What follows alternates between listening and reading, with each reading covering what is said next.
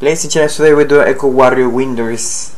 So we're gonna need some summoners and we are gonna look for Lumomo. Lumomo is here is in uh, F10. We open the map and this is the location where he is right now. We're gonna find him. He was behind the Galka. So so we talk to him and we tell him yes to everything. For this one, you're gonna need a sneak, a sneaky and invisible. So you're gonna buy some oils in the auction house and then some upon the prism. So now now we're gonna head to Tahrongi Canyon we can teleport ourselves or we can go through through the outpost in Kolshushu we talked to Anko Anko Malihat I don't know the name. And he's gonna he's gonna uh, level sync us to 20 For Dingwa we're gonna use someone like I said because we don't have too many people and we need to burn them the the enemy. So you're gonna follow this route, you go to C.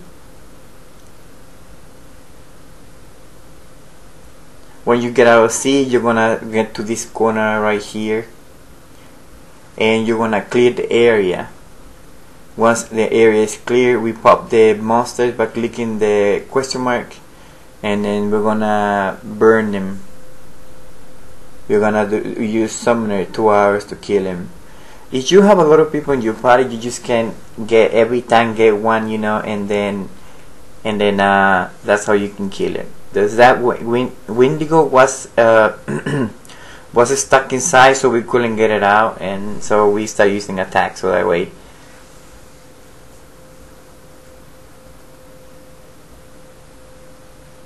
I used mine, but mine glitched. I don't know what happened with mine. I couldn't use it again. I couldn't cast it again. It, said that I, I, didn't have MP, but there was MP there, so I don't know what was the problem.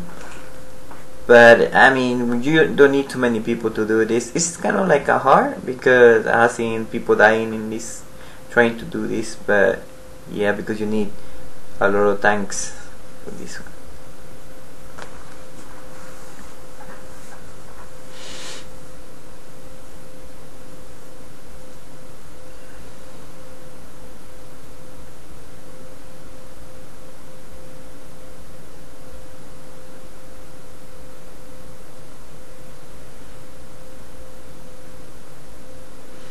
I don't know what to do. Okay, now it shows that I don't have MP, but I, I forgot to bring some uh, some uh, Yagudo drink. So yeah, I think I should have bring some.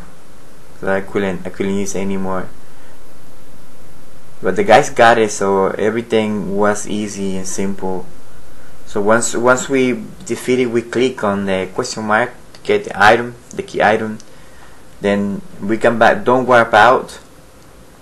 You have to come back to the NPC and talk to it talk to the NPC and the level thing is gonna drop. And after that you can warp out. Or in this case we're gonna kill those things. But and then you come back to Windurst